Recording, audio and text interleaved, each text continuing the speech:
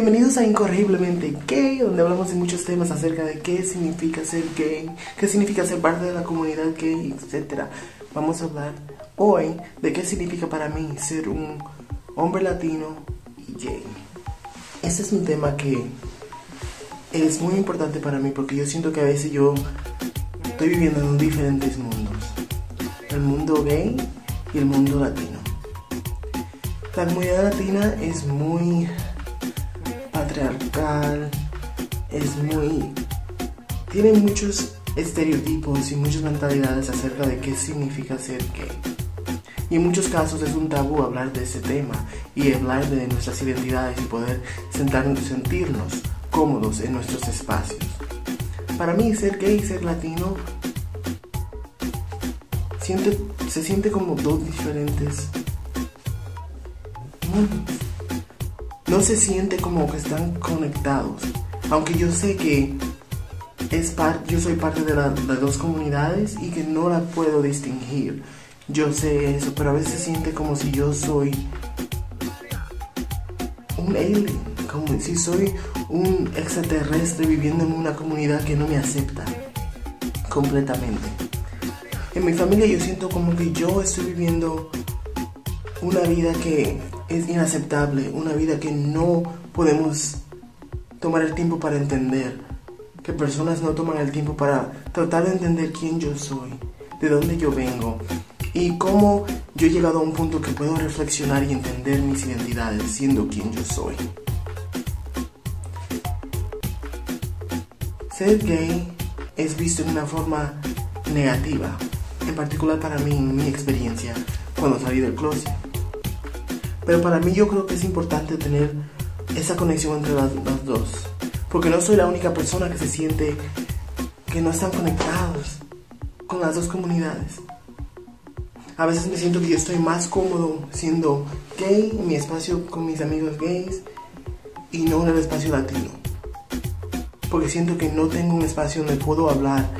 En particular mi familia yo siento que no puedo hablar mucho, no puedo expresarme siendo quien yo soy. Si hay un tema, por ejemplo, mi familia y sus amigos tuvieron un, tema sobre sexo y hablaron de una forma tan heterosexual de qué harían ellos y riéndose.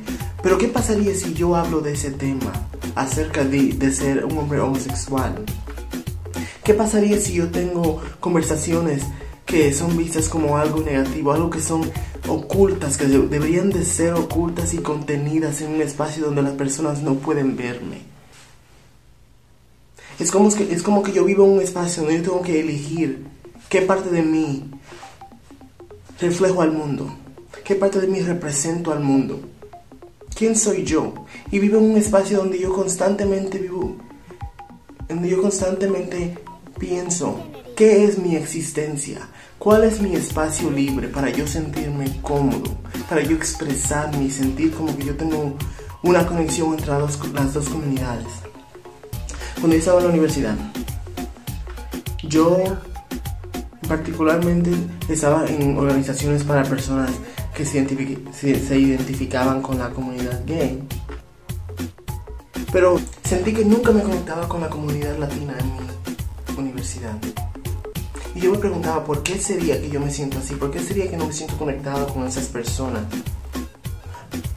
Pero me di cuenta que mi mentalidad es una mentalidad de rechazo. Siento que he sido rechazado por mi comunidad gay, mi comunidad, siento que he sido rechazado por mi comunidad latina. Siento que siendo quien yo soy es una invasión de su espacio. Me pregunto yo, ¿cuándo llegaríamos a un punto donde nos sentiríamos cómodos siendo quien somos en todos los espacios? ¿Cuándo las partes de la comunidad latina homofóbicas llegarían a un punto donde entenderían que somos humanos también? Me sentí así por el propio rechazo que yo he tenido por mi comunidad. Y diciendo eso no significa que no soy orgulloso de ser un latino. Yo soy muy orgulloso. Soy muy orgulloso. Soy un dominicano orgulloso. De pura cepa. Pero no puedo tomar, no puedo dejar que el tiempo pase si yo reflexiono y entender por qué. ¿Por qué las cosas están como, como están ahora? Y es muy difícil no tratar de pensar que uno es el problema. Y por eso somos muy fuertes, porque nos conocemos, sabemos quién somos y podemos tomar el tiempo para pensar, reflexionar de nuestras identidades, nuestro mundo y cómo navegar en estos espacios para sentirnos más, sentirnos más cómodos. Entonces, ser gay latino para mí se, se sentía y a veces se siente como si estoy en dos diferentes mundos. Pero en realidad estoy orgulloso de ser parte de las dos comunidades. Y peleo cada día para poder sentirme parte de esa comunidad. Peleo cada día para poder expresar y poder hablar en frente de esas, de esas personas que a veces no me ven así. Hablo, hablo libremente para que aquellas personas sepan quién soy y los hago pensar a ellos. Porque siendo seres humanos, nadie es mejor que el otro. Y ese es el punto de este video. Si eres latino y gay y ves este video y sientes que tienes una experiencia similar a la mía, suscríbete, dale like o comenta. Yo quiero oír tu historia. Quiero que me dejes saber qué experiencia has tenido que te, quizás te hace sentir, o quizás no, que las dos comunidades a veces no se sienten conectadas. Y ese tema puede ser muy, muy grande, más extensivo de lo que es ahora en este video. Pero siéntete orgulloso siendo latino y gay. Porque esas intersecciones de identidades es muy importante para entender cómo uno evoluciona siendo quien somos. Siempre recuerda, sigue siendo quien tú eres y ámate